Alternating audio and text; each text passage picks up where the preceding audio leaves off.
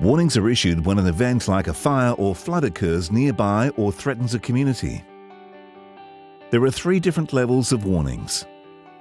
Advice, Watch and Act, and Emergency. Advice messages are used when a fire is in your local area. This means you should access official information and monitor conditions. Be aware of what's going on around you and stay up to date with any changes to the situation. Watch and Act warnings are issued when there is a threat to your safety, such as when a fire is heading towards you. This means conditions are changing and you need to take action to protect yourself and your family. Ensure you follow the advice provided in these warnings. An emergency warning is issued when you are in imminent danger of the fire reaching your location and you need to take immediate action. As part of these warnings, you'll be given advice such as whether to stay where you are and find shelter or to leave.